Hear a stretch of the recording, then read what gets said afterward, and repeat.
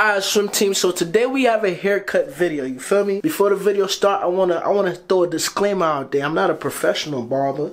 It's something I do for as a hobby. I have no intentions of being a barber, but I do have intentions of saving you some bread.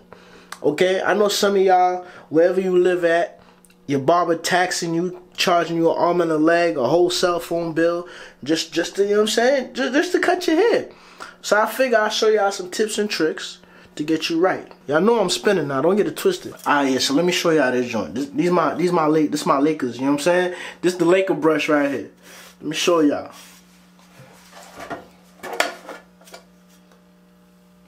You feel me?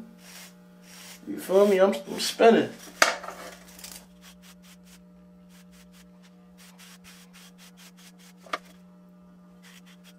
Alright, so I'm gonna show y'all you feel me? How to go from looking like I just spent time in the pen, fresh out of solitary confinement, to looking like I could steal your baby moms from you. Mean? Enjoy the video. Alright, so the first thing I did when I started to cut was I started combing my hair.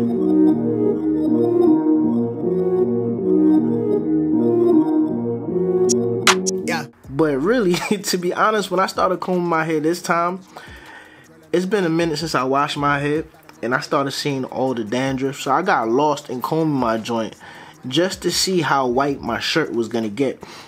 I don't know if y'all paying attention, but look how white my shirt is. My shirt is pretty damn white. then um I started brushing, you know, just getting my pattern out because you know I got waves. And the reason I do that is because when I cut my hair, I always cut with the grain. Like I don't go against the grain. I don't I don't do none of that. I always cut with the grain. Ages, we blowing on grapes for the flavors. All of a sudden we major, still independent by no label. For now I'm going hard enough that the streams will. So, uh, this right here is probably the most important thing you can do for your clippers. A lot of y'all know that I've been complaining about the bumps in the back of my neck. And the reason I have the bumps in the back of my neck is because I wasn't cleaning my clippers. So when I bought this spray right here, I made sure that I made good use of it. You feel me? In the back of that joint, it said cure AIDS well, it don't cure AIDS, but you know what I'm saying? It kills AIDS. You can see it when you look into my eyes. When you look into my eyes, you can see it. All right, so with the cut, first thing I did was I created a bald line with my my liners. You feel me? And um, I was a little shy with the bald line, but you know it was a it was a step. Then I put the guard on. I forgot what guard this was, but this is probably the lowest guard you're gonna have with your uh, with your trimmers. I had the guard uh, all the way closed, I believe, and I made a guideline. Guidelines are your friend.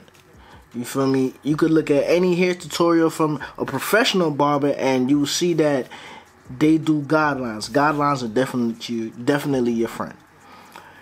And you know, I could have probably started with the hair. I could have probably started with my hair like cut down to the length I wanted to and then do like the the bald lines and the taper and start the taper but I wasn't sure and for me this is easier for me because then depending on how the um the taper looks I'll be able to kind of match my hair length with it if that makes sense. I knew I was going with a one though, but I wanted to kind of start off with the taper first. It's all let, let me tell you something. When you doing this, it's always up to you. Whatever method you got going on, as long as the end results come out fire, do what's comfortable for you.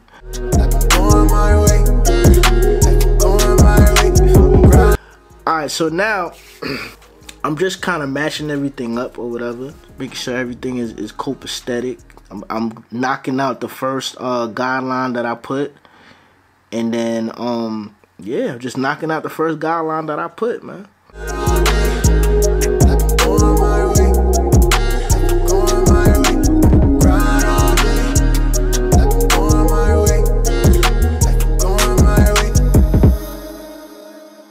Alright, so you see how the you see everything is is you know what I'm saying? Everything is coming together. It's still not perfect, but it's coming together. I tried using this guard. I forgot what number this guard is, but the teeth of the guard is really wide. Maybe the professional barbers in the comment section tell me what guard this is, but I tried using this just to kind of um take down a little bit of the bulk in my hair. But after a while, I realized that it wasn't really, it really wasn't working the way I thought it was gonna work. So I moved to the to the one guard. So I started with the one guard all the way open, and I started taking down um taking down my head. I'm all in. Brody on the line, I'm tapping in. Got out here pulling the strings for me. A girl on the line, she feeling me. Preoccupied by the motivation. Put in the time, pay the entry fee. Bro on the right, yeah, he kinda nice. Inside of my mind, no one's real as me. Lady. And now you can see me, I'm going to the back. And the way I do the back of my joint is I go with the grain, I go with my pattern. Never go against the pattern, especially for the back. And then make sure when you get around your crown area, you gotta make sure that either the guard is a lot higher, so you or you just kind of altogether stay away from the crown area, depending on how high or how low it is, because you know once you start cutting the, the crown the same length as everything else, you just gonna look like you got a bald ass crown, especially for the the the pattern I got. You know what I mean?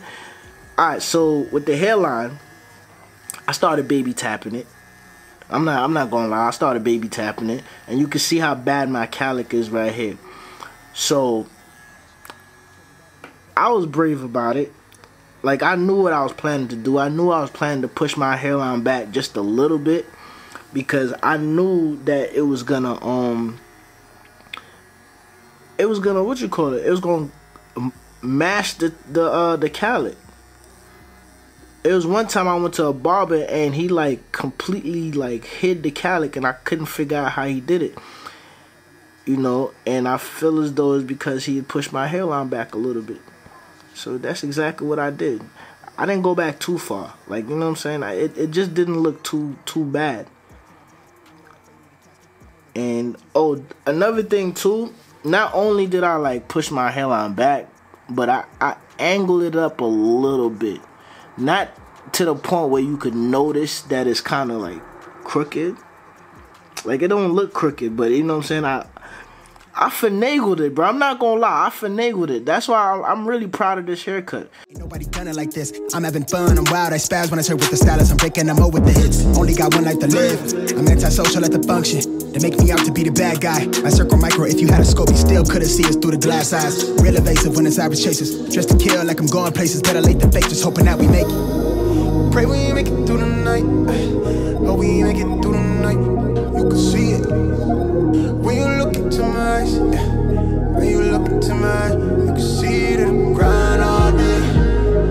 Now with my beard, I wanted my beard to kind of fade into the um into the taper so that's the reason when I started, I did the um, I did the bald line or whatever, and so when I started my bed, I put like a line to kind of clean it up, and you know like I feel as though this is improvement. If you've been on my channel and you you've been seeing like me cut my own hair, this is definitely improvement. Like look at this cut, man.